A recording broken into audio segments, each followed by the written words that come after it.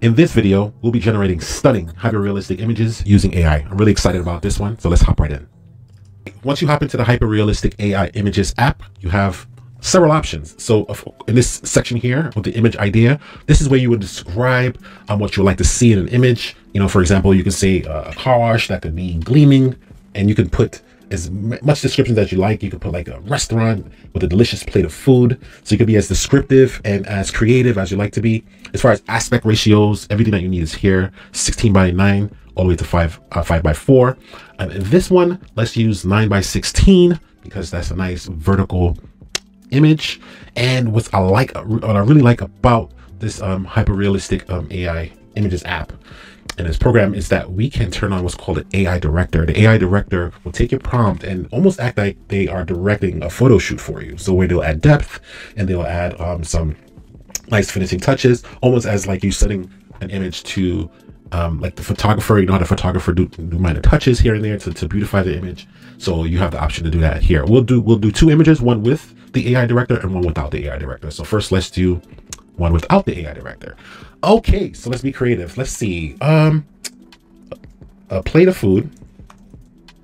Food that um, has a hamburger and french fries.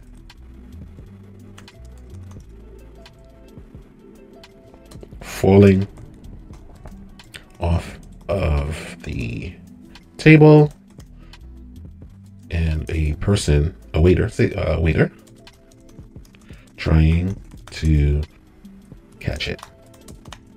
So what did I write? I said a plate of food.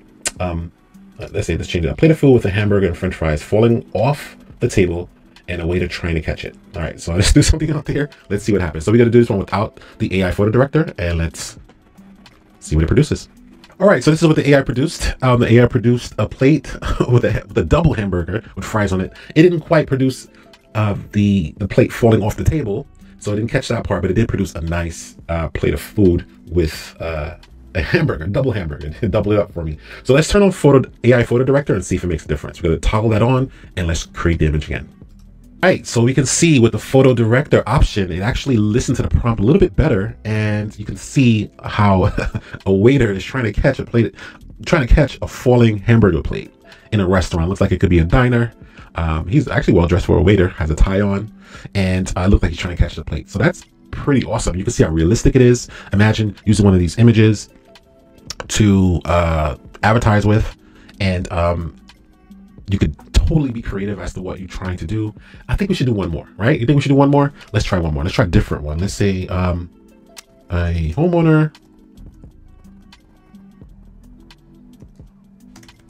in front of their new house um, with confetti.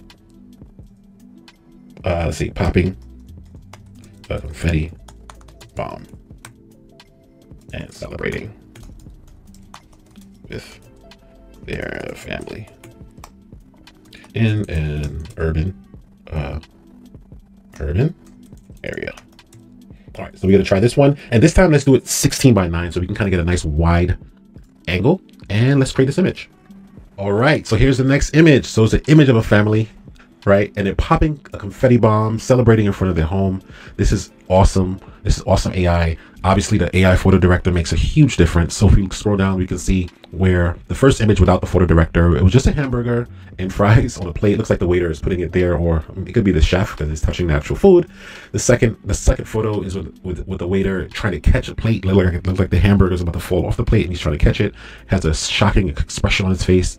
And the last image we created was a homeowner in an urban area. Looks like they're in front of their new house, celebrating with a confetti bomb. So we can you can use your imagination and you can create these images to either use for posting on social media for your own personal brand on your website or if you want to uh, do an ad you can do that as well or for uh, like a you know newsletter or or if you want to do a blog you can do all these you have all of these different aspect ratios that you can use to comply with whatever social media platform you're using and I'm super, super excited about this hyper realistic AI images because it gives the highest quality of the AI that's out right now. And of course, as AI improves, we'll improve the backend to match it. But again, sky's the limit.